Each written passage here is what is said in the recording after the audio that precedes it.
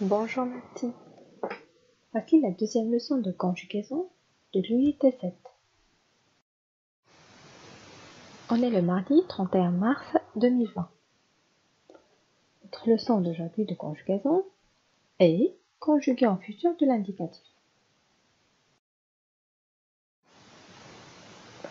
Lisez la phrase suivante. L'année dernière, j'ai voyagé à Paris. Aujourd'hui, il choisit un chapeau. En ce moment, elle mange des bonbons. Demain, tu termineras ton travail. Je répète, l'année dernière, j'ai voyagé à Paris. Aujourd'hui, il choisit un chapeau. En ce moment, elle mange des bonbons. Demain, tu termineras ton travail. Relevez les verbes et dire son infinitif. Alors, où est le verbe dans la première phrase? L'année dernière, j'ai voyagé à Paris. Alors, le verbe, c'est est voyager. C'est le verbe voyager à l'infinitif. C'est un verbe du premier groupe. Aujourd'hui, il choisit un chapeau. Choisit, c'est le verbe choisir. Aujourd'hui, elle mange des bonbons. Mange. C'est le verbe manger. Demain, tu termineras ton travail. Terminera. C'est le verbe terminer à l'infinitif. Maintenant, identifiez les indicateurs du temps. L'année dernière, c'est un indicateur du passé. Aujourd'hui, il indique le présent. La troisième phrase, en ce moment, elle indique le présent aussi. C'est un indicateur du temps qui indique le présent.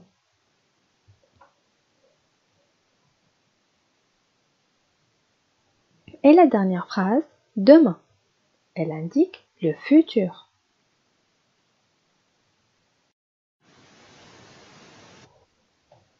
Voilà la ligne du temps. On commence toujours par le passé, on passe au présent et après viendra le futur. Observons maintenant ce tableau. On commence par les indicateurs du temps. On a l'année dernière. On parle de la première phrase. Son indicateur du temps est l'année dernière. Le verbe c'est et voyager. Le sujet c'est je. Le verbe à l'infinitif voyager. Le temps de cette phrase est le passé. La deuxième phrase. Aujourd'hui, c'est l'indicateur du temps. Le verbe c'est choisi. Le sujet c'est il. Le verbe à l'infinitif, c'est choisir. C'est un verbe du deuxième groupe. Cette phrase est au présent. Troisième phrase. En ce moment. Le verbe, c'est mange. Sujet, elle. Le verbe à l'infinitif, c'est le verbe manger. Le temps de cette phrase est le présent. La dernière phrase. L'indicateur, c'est demain. Le verbe, c'est terminera. Le sujet, dans cette phrase, c'est tu. Le verbe à l'infinitif, terminer. Le temps de cette phrase est le futur. Maintenant, identifiez l'indicateur temporel du futur. Bravo c'est demain. Maintenant, repérez la phrase qui est au futur. Très bien. Demain, tu termineras ton travail. Maintenant, qui peut me conjuguer le verbe manger au futur en mentionnant la terminaison?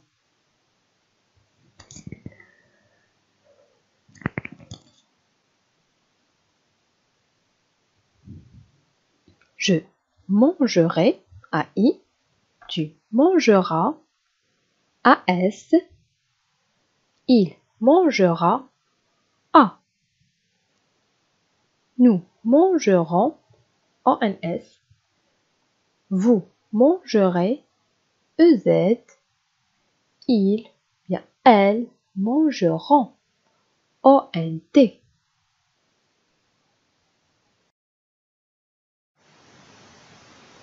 Je retiens. Le futur simple exprime une action à venir. Les terminaisons du futur sont celles du verbe avoir au présent. Elles sont régulières, c'est-à-dire AI, AS, A, ONS, EZ, ENT. C'est-à-dire les terminaisons du futur ne changent pas, elles restent toujours les mêmes pour tous les verbes. Le futur est généralement construit par l'infinitif plus terminaison pour les verbes du premier et deuxième groupe.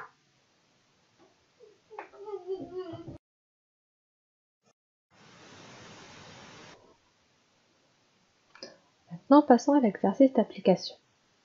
Relève les indicateurs temporels du futur. Aujourd'hui, il fait froid.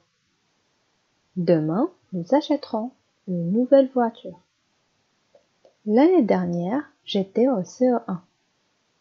L'année prochaine, je serai au CM1.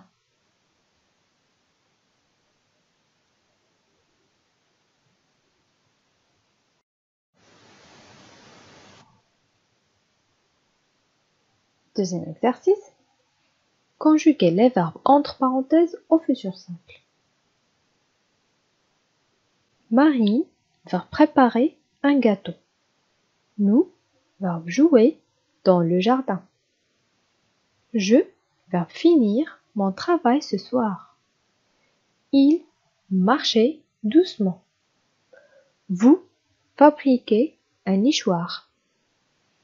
Il bavardait trop. Demain tu choisir un beau livre.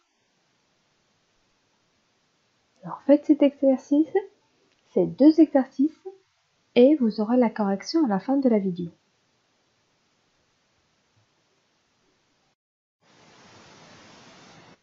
Voilà la correction. Premier exercice.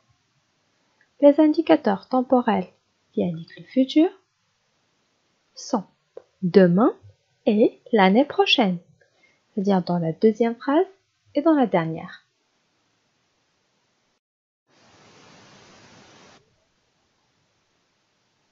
Deuxième exercice. Alors Marie préparera un gâteau. Nous jouerons dans le jardin. Je finirai mon travail ce soir. Il marchera doucement. Vous fabriquerez un nichoir. Ils bavarderont trop. Demain, tu choisiras un beau livre. Merci les enfants pour votre attention et à bientôt.